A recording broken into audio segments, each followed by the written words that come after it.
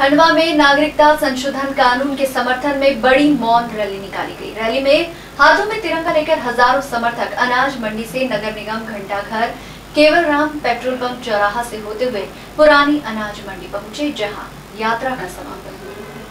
अनुशासनात्मक तरीके से तिरंगा यात्रा निकाली गई। नागरिकता संशोधन कानून के समर्थन में खंडवा के प्रमुख मार्गों से यात्रा निकाली, जिसे देखने के लिए लोगों की भीड़ जमा हो गई। आपको बता दें कि संशोधित नागरिकता कानून शुक्रवार देर रात लागू हो गया है।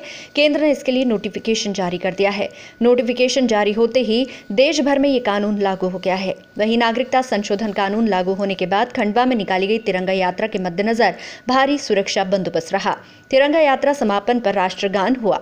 तिरंगा यात्रा में शामिल होने के लिए सांसद नंद कुमार सिंह चौहान, विजय शाह, देवेंद्र वर्मा, राम दांगोरे सहित अन्य नेताओं और जनप्रतिनिधियों ने भी उपस्थिति दर्ज कराई। बता दें कि बुरहानपुर में बीते दिनों निकली तिरंगा यात्रा में सांसद नंद कुमार सिंह चौहान, पूर्व मंत्री अर्चना चिटनिस सहित अन्य पर केस दर्ज हो गया था। के माध्यम से संदेश मात्र इतना था कि हम देश के कानूनों का सम्मान करें।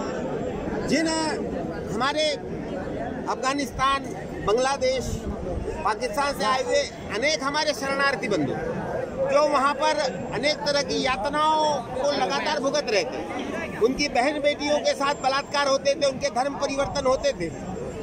वो लोग वहाँ अपनी सारी संपत्ति अपना पूरा वैभव छोड़ करके इस देश में आकर के गली गली में बगैर नागरिकता के रह रहे थे। उनके बच्चे जब स्कूल जाने लायक होते थे उनका शाला में एडमिशन नहीं होता था क्योंकि वो इस देश के नागरिक नहीं थे। देश की संवेदनशील सरकार ने इन सब बातों को गंभीरता से विचारा। पूज्य महात्मा गांधी ने उन्नीस में कहा था कि जो लोग धर्म के आधार पर बटे हुए देश के उस हिस्से में रह गए यदि वो इस देश में आते हैं तो हम पूरा देश, उनका सदैव स्वागत करेगा और उनको हम नागरिकता देंगे।